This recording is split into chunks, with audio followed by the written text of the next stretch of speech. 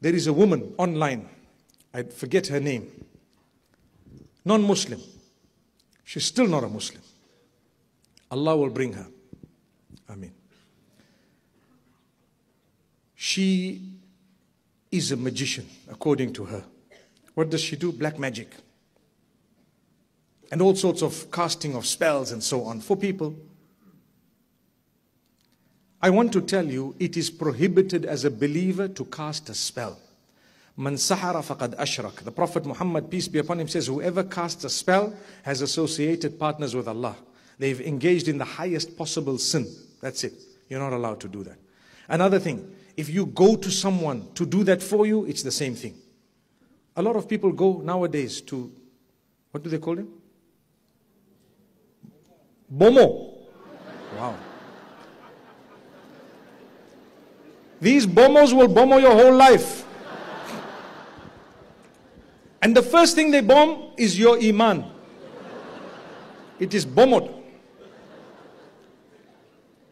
Don't. By you going to them, you lost your faith. Remember, you have to repeat your shahada. Wallahi, it's not a joke.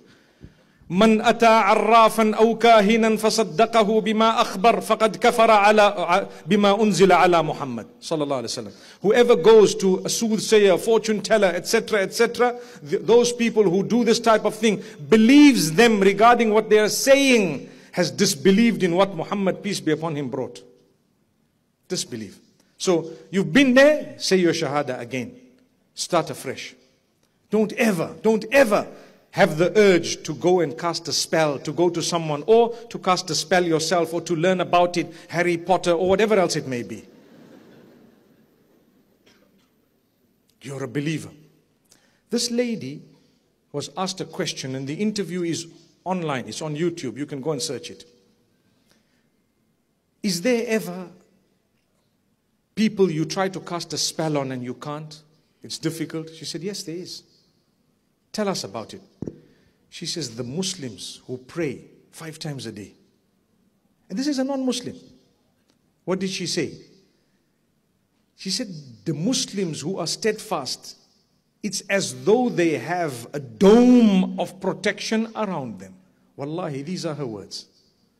When I heard it, I said, Subhanallah, I forwarded that message, that video to so many people. Here's a lady sitting in an interview telling the interviewer about how she casts spells. And it's a long interview, one and a half hours, I think. And inside, there's a five minutes where she speaks about this question Is there ever a time when you can't really do this? You can't cast a spell? She said, Yes, those who believe. Why? She said, You know what?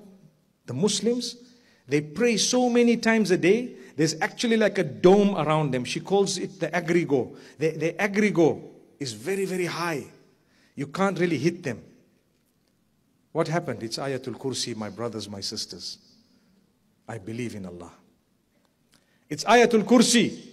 And it's the Mu'awwidat, the last few surahs of the Quran. Are we not taught to read it in the morning and the evening? The disbelievers are bearing witness. It's more difficult to influence a person if he keeps his thoughts in purity. Yes, absolutely. When faced with various religions, it is very difficult to influence Muslims. They are in a constant connection with the egregore. They do namaz every day and read prayers on a daily basis. They are constantly under some kind of a dome, so it is very difficult to influence them.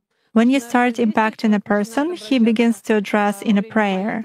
Indeed, many of them are very different from those who come to church only when everything is bad in their life. They come to pray and then for five years they forget about God, some canons, and so on. Muslims, as a rule, passionately believe and passionately give energy to their egregore and this egregore protects them very well. That's why it is very difficult to work to make any kind of influence on a true Muslim believer.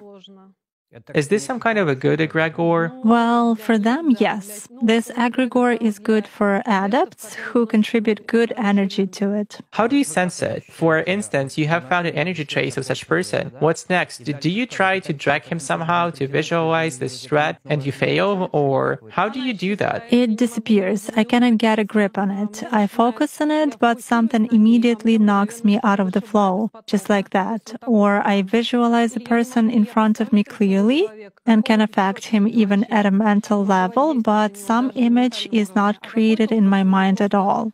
I even look at a photo, reproduce an image, but it vanishes from my mind.